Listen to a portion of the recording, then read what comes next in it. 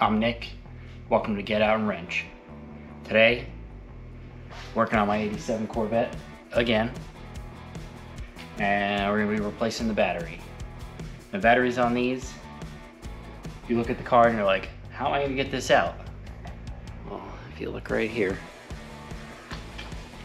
Right, if you look at that, you're like, how do I get that battery out of there? Well, on these, you have to take this side panel off here. Held in with a 10 millimeter bolt here. It's got one in the wheel well, and then there's one underneath as well that you got to get with a flat wrench. I don't know if you can see it in there, somewhere in there.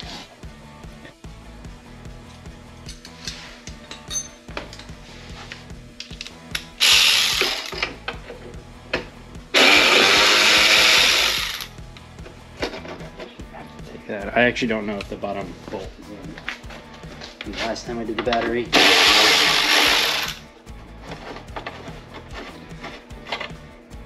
The top one, I don't think you have to take it all the way out. You might on your car, this one's kind of broken, so I don't think it has to come all the way out. And then this one here, it's two screws like that.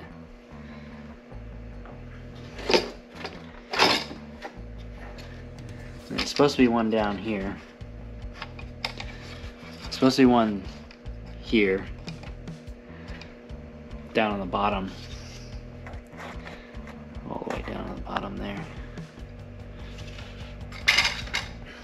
And then take your 8 millimeter wrench for your side posts.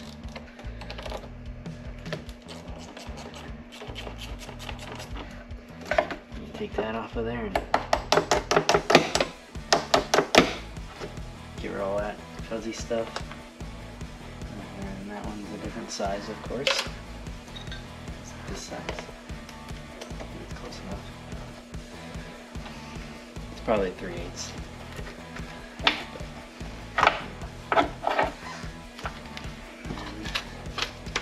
I also don't have a battery hold down back here, which I should get.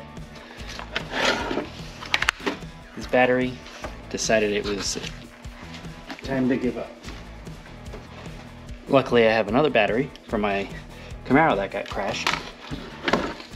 So, slide that guy in there for now. And once I get that other car fixed, I'll get a new battery for that one. Or I'll just take this one back. I don't know.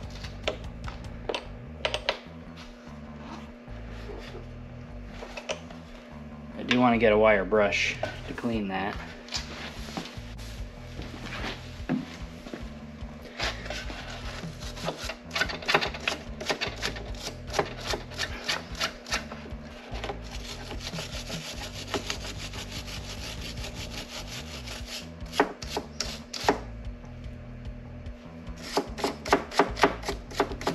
Good contact there. Put that on.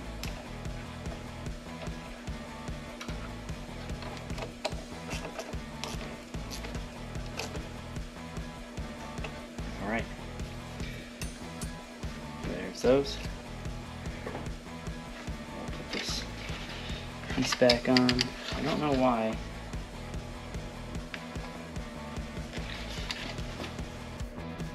I don't know what happened to my bottom bolt. I don't know if I ever had a bottom bolt on this, but I put batteries in these cars before.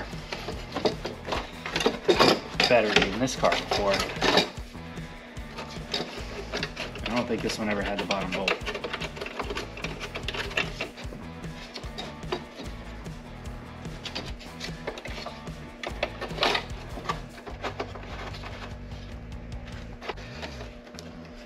Sure your door gap's right.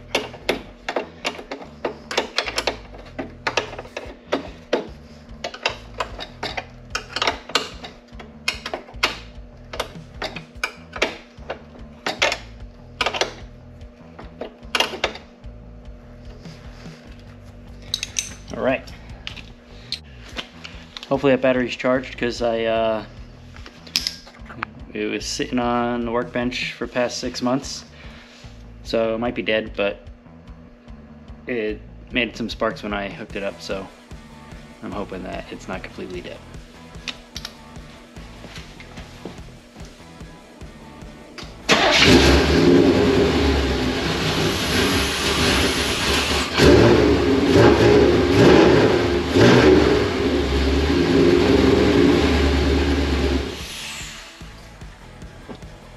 Well, that was it. Just a quick video. Changing my battery and guess it's not dead because it started the car. So thanks for watching. Please like and subscribe and hit that bell. I don't know where it is, up here somewhere. I'm Nick. Get out and wrench.